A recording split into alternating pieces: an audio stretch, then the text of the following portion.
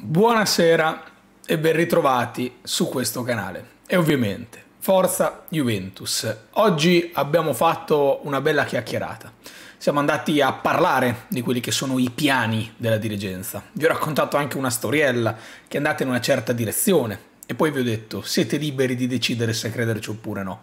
Ora, ho letto che tanti hanno trovato coerente quello che vi ho detto. Quello che non potevo sapere è che si sarebbero aggiunti alcuni dettagli. Perché? Perché poi, mentre registravo, editavo e caricavo il video,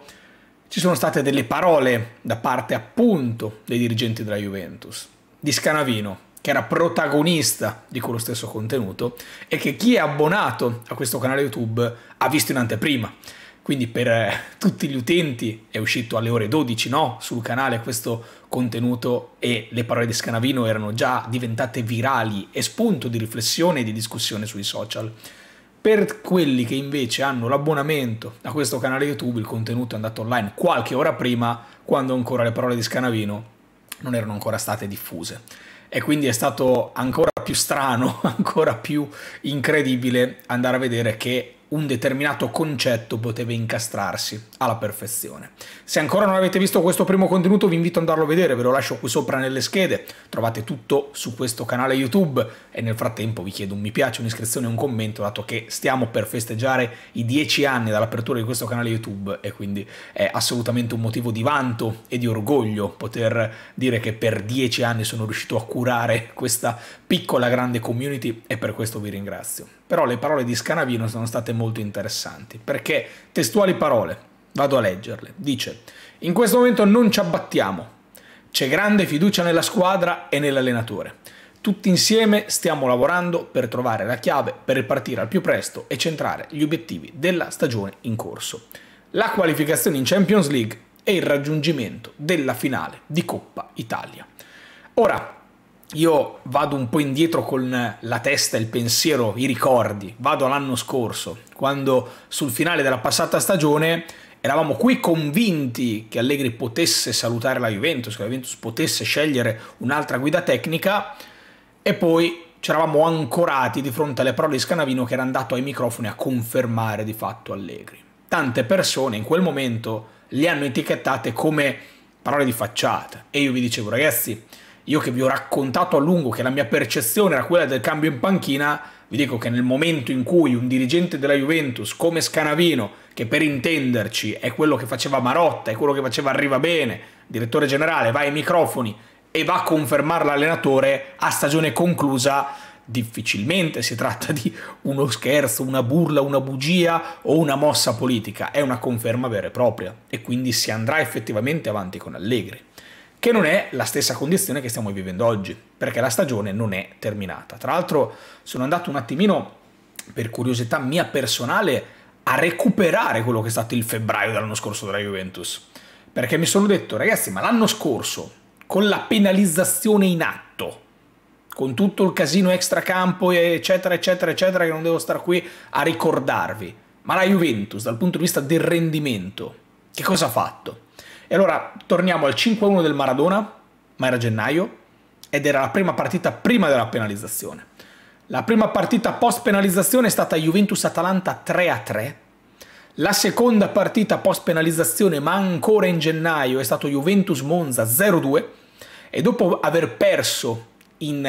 in, trasferta al Maradona con tanti gol di scarto, aver pareggiato in casa con l'Atalanta, aver perso in casa con il Monza, la Juventus inizia effettivamente il febbraio e in febbraio la Juventus gioca 4 partite e le vince tutte e 4, portandosi a casa 12 punti. Nel momento in cui era successo di tutto, la penalizzazione, le sconfitte, il momento era duro, era molto complicato, non possiamo nemmeno paragonarlo a questo momento della Juventus. Eppure nel momento più difficile, da tanti punti di vista, la Juventus l'anno scorso a febbraio ti fa 4 vittorie su 4 e conquista 12 punti. Quest'anno la Juventus a febbraio ha giocato 4 partite e ha perso le prime due, Inter e Udinese, poi ha pareggiato e poi ha vinto 3-2 in extremis con il Frosinone, ovviamente pareggiato con l'Ellas Verona, per un totale di 4 punti in 4 partite. Nel momento in cui paradossalmente dovevi essere anche al tuo massimo, certo, hai pareggiato con l'Empoli e perso con l'Inter, però cerchiamo di andare avanti. E questo è un concetto che vi porterò domani in un video in cui parleremo dei calciatori, perché oggi abbiamo parlato dei dirigenti in relazione all'allenatore, domani parliamo dei calciatori e ci agganciamo no, a questo discorsetto qua. Però l'anno scorso nell'inferno dell'extracampo, 4 partite, 12 punti, quest'anno nella tranquillità e nella delusione, sì certo, di aver buttato un vantaggio o comunque una distanza minima dall'Inter che era forte, forte, forte, 4 punti in 4 partite. Questa roba qui deve, secondo me, quantomeno far riflettere. Non ho paragonato i marzo, semplicemente perché marzo non è ancora finito per la Juventus, dovrà giocare ancora un'ultima partita a Roma con la Lazio di Igor Tudor, che si è già presentato dicendo che vuole fare un calcio molto offensivo con tanti giocatori in avanti e diciamoci la verità, in questo momento la Juve non è la miglior squadra del mondo dal punto di vista della solidità difensiva e il rischio di fare una brutta figura c'è. Però Scanavino oggi parla dentro la stagione, con la stagione che non è finita, gli obiettivi non sono ancora stati raggiunti. E io oggi vi dicevo, ragazzi, la linea è o silenzio o conferme. E allora Scanavino oggi ha parlato per confermare Allegri, ma soprattutto per mettere in primo piano ancora quel discorso. Bisogna fare un'ottima Coppa Italia in semifinale proprio con la Lazio, raggiungere la finale e aggiungo io se possibile vincerla, perché sarebbe anche ora di tornare a vincere un trofeo, ma soprattutto arrivare in Champions League. Perché se la Juventus non arriva in Champions League è un disastro dal punto di vista economico e progettuale. E oggi vi dicevo, se dobbiamo aspettarci delle parole dai dirigenti della Juve, dobbiamo aspettarci solo, che non sia in silenzio, non parole relative all'anno prossimo o al futuro di Allegri, la conferma, la tranquillità, la serenità, bisogna solo arrivare in Champions. Avete presente quel meme che c'è il cane dentro la casa che brucia e tutto intorno, il fuoco, le fiamme, c'è il cane dentro la casa che beve dalla tazza e dice I'm fine? Ecco, io la Juve me la immagino così, ma quella I'm fine, quel sto bene, tutto a posto, è un sto bene programmato dalla dirigenza della Juventus, è la volontà di far passare un messaggio di tranquillità, di serenità, andate tranquilli, tanto siamo in linea con gli obiettivi, ma non è quello che stanno pensando. Non è assolutamente quello che stanno pensando. E oggi è saltata fuori anche un'intervista di Allegri a The Athletic. The Athletic è un sito di giornalismo sportivo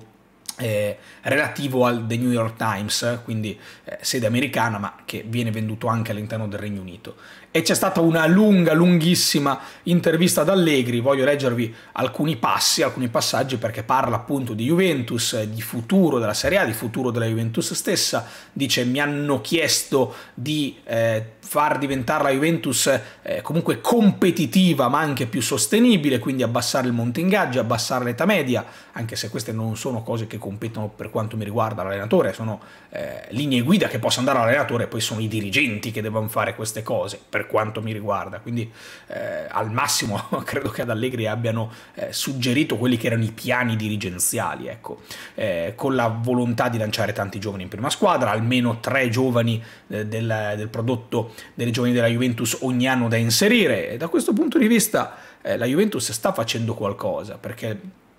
se escludiamo magari il primo anno dell'Allegri bis dove è stato qualcosa eh, di un po' diverso, però poi eh, Fagioli, Miretti, Ealing, Ildis, Uisen, magari me ne sfugge anche qualcuno, sono entrati comunque all'interno delle rotazioni e stanno iniziando a ritagliarsi un nome, non sono diventati assolutamente tutti titolari in una volta, anzi in questo momento eh, Ildis ha perso il posto, Fagioli è squalificato, eh, Ealing ha giocato un paio di partite ma Kostic è il titolare a sinistra, Uisen è andato fuori, quindi non vi sto dicendo che questi giocatori sono titolari, perché non è assolutamente così, però in relazione a quelli che sono stati gli anni precedenti di Juventus ci sono effettivamente dei prodotti del settore giovanile che stanno entrando, iniziando ad entrare nelle rotazioni. Poi eh, Allegri continua su, su, questo discorso relativo alla maturità dei calciatori, è un discorso, lo sappiamo, lui dice che i, i ragazzi entrano eh, nel massimo picco intorno ai 26-27 anni, io posso anche essere d'accordo, poi credo che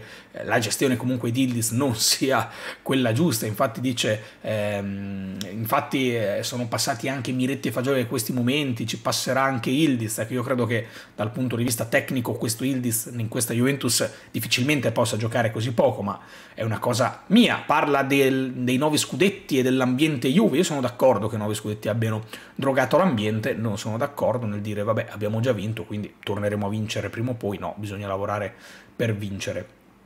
Poi si parla della distanza con la Premier League, tra Italia e Premier League e quindi Allegri va a identificare proprio nei giovani, nel lavoro nella next gen, il, il modo per cercare di raggiungere, quindi eh, meno soldi da dare ai calciatori, meno soldi da pagare ai cartellini, bisogna cercare di valorizzare questi prodotti, questi giocatori, io sono d'accordo, poi secondo me la Juventus ha quell'idea lì, non l'abbiamo fatto proprio benissimo, stiamo migliorando rispetto al passato e questo è un dato di fatto perché in precedenza tanti tanti nomi come questi anni non li avevamo visti. Vi do un altro dato, dal 2018-19, quindi l'ultimo anno di Allegri, eh, questa è la Juventus più giovane, tra virgolette, eh, in assoluto dal punto di vista statistico perché i giocatori che sono scesi in campo hanno una media di 27.2 anni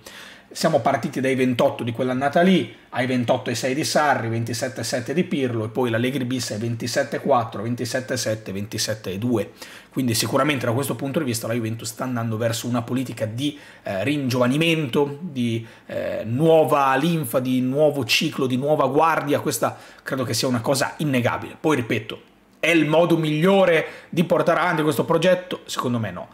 Però fino a qui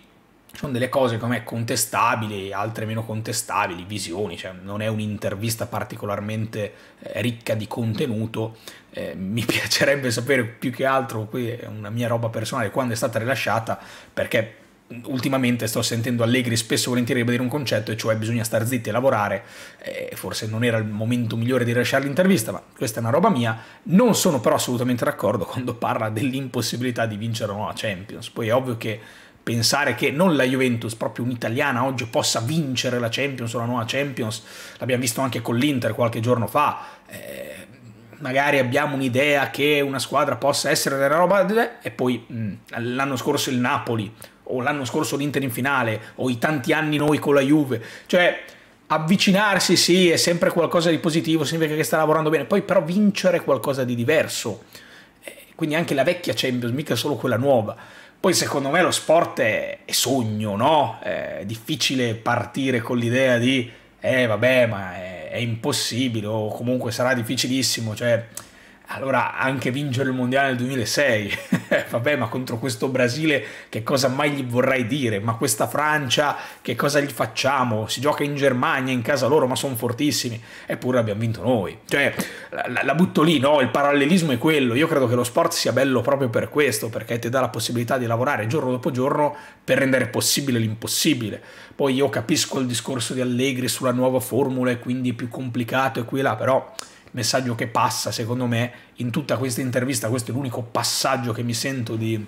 eh, di, di considerare come eh, negativo, anche se capisco quello che voleva far passare. Secondo me questo è un messaggio brutto poi in generale, così come quello relativo all'obesità infantile. Non è la prima volta che Allegri parla di questa roba, anche qui è stata riportata nell'intervista. Io credo che siano tematiche da lasciare un po' da parte queste qua, perché non è solo lo sport, l'associazione all'obesità, ci sono persone che purtroppo hanno componenti anche relative a, proprio al metabolismo o alla genetica e robe varie, non è soltanto il muoversi, non è il mio caso perché io purtroppo sono anche un pigro e quindi i miei chili di troppo non ce li ho solo per cause metaboliche o, per o, o genetiche, ma anche tanto per pigrizia, eh, lo so bene, ma so più che pigrizia che io sono sempre stato uno sportivo, difficilmente riesco a stare fermo e adesso col crociato rotto faccio veramente una fatica da matti a,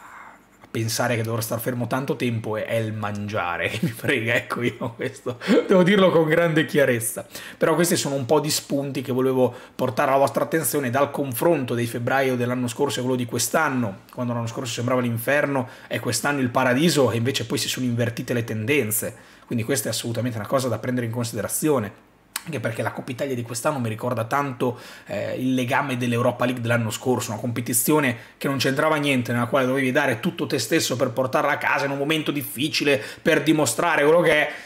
E poi è andata come è andata, eh, siamo già in semifinale, esattamente dove siamo usciti l'anno scorso in Europa League, ma quest'anno di Coppa Italia e ho paura che possa esserci la stessa fregatura. Che la Juventus stia lavorando per andare verso un progetto più sostenibile e più giovane, più green, io sono d'accordo, vi ho portato i dati di, di questa tabella che sono andato a reperire su internet, ci sono le parole di Scanavino che secondo me sono importanti in relazione al video di oggi e se non l'avete visto andatevelo a vedere qui sopra nelle schede e c'è questa intervista di Allegri in cui sono state toccate tante tematiche